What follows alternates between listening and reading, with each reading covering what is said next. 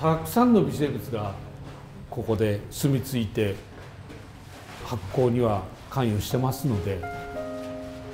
いろんなあの宝物が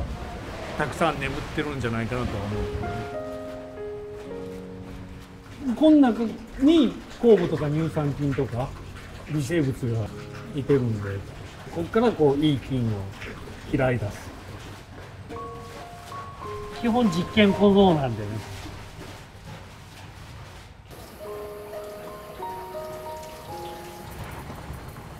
中身の成分を分析。醤油の塩分がどれほどあるとか。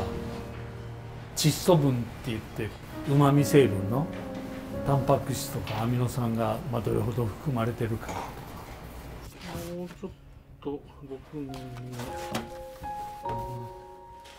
自分の実験ノート。後世にも残さないかんなとも思うので。レポートっていうかね論文にして残しとく。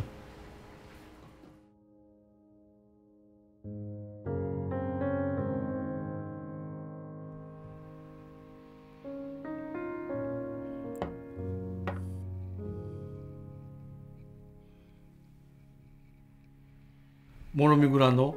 香りがそのまま残ってこう口の中で広がるうまみも十分あっていい出来上がりかなと思いますね。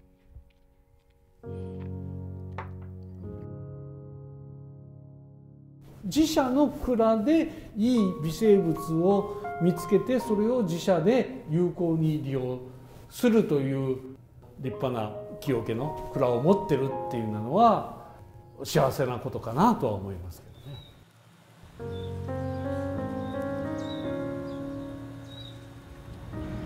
私おすすめなのは